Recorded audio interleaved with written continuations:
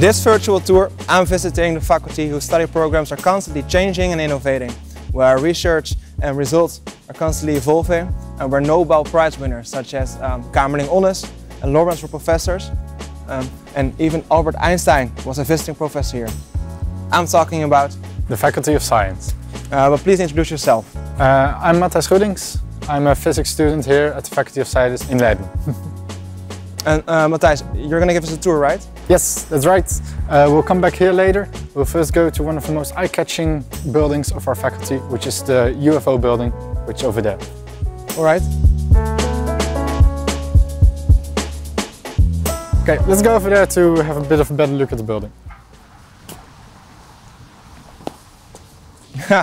I can see why uh, what you meant with the, with the UFO. It's truly an eye catcher.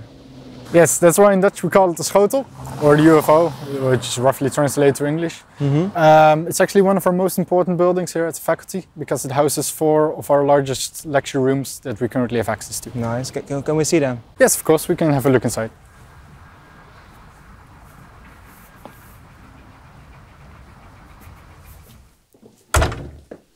Oh wow, this is impressive. Yes, quite.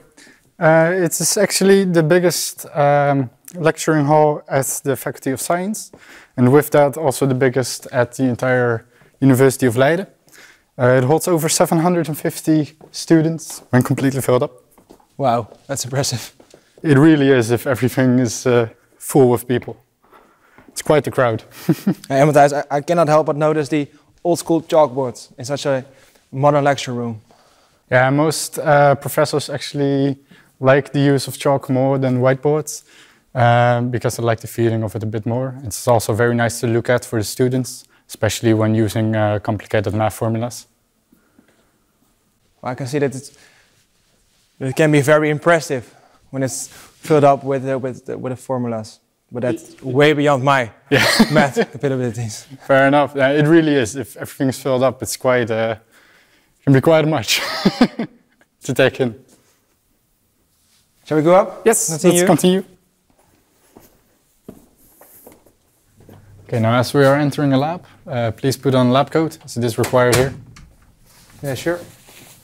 This is what I imagined when I arrived at the Faculty of Science. hey Matthijs, can you tell me what you do you study in this lab?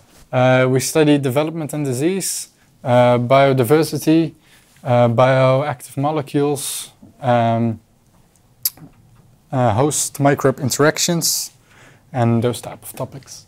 All right, that's a lot. um, uh, can you give me an example? Uh, for example, we develop anti-cancer drugs, anti-inflammatory drugs, and we also research ways to protect crops against insects and fungi and those type of stuff. Nice. So shall we uh, get on going to the next lab?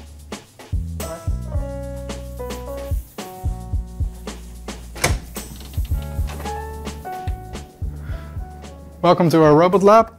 This is where the students of computer science and mathematics uh, can program robots and test them. Nice. So a lab. This is quite the opposite of the previous lab we just visited. Yes, it really is. Uh, it's a lot more open. Uh, that's because we have to test our robots here on the racetrack that's on the ground. And we have two spaces here for the students to sit and program them. Nice. And can we program this one to do my dishes and laundry at home? Uh, we probably can, but sadly, uh, we are not allowed to take him home. So, all right, we have to leave him here for now. Shall we get going? Sure.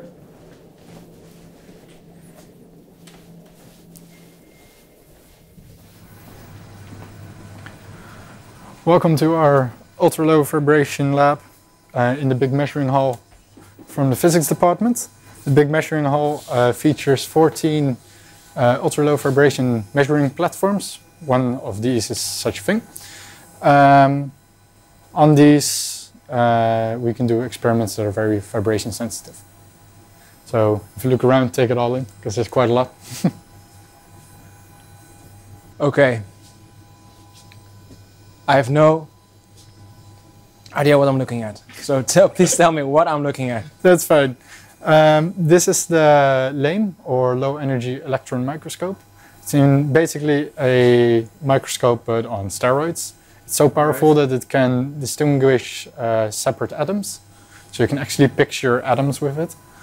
Um, and that's also the reason why it has to be here on the vibration platforms, uh, because it's measuring such a small scale that even the vibrations in the ground caused by a car driving on the nearby highway can disrupt the image.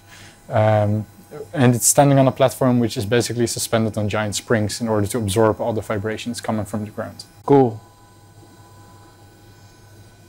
I heard that uh, another cool place, the atrium at the Gorlaeus building is also nice to see. It really is. So should we go there next? Yeah, let's see it.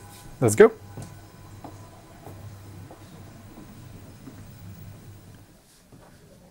Well, we saved the best for last, didn't we? This is the Gorlaeus atrium. Nice. And so light in here. Yes, we wanted as much natural light as possible in the area, uh, hence the big windows and the big open spaces. Uh, we use the big open spaces for science fairs and open days and those type of big events. Nice. And I would really grab a, a study spot over here. Uh, that's actually what most people do. Uh, a lot of students often bond together here on the desks or down there at the computer labs uh, to study together because of the nice atmosphere we have here. You can see why. So, uh, shall we maybe take a coffee? Yes, please. I hope you like this 360 tour about the Faculty of Science. Um, enjoy the atrium.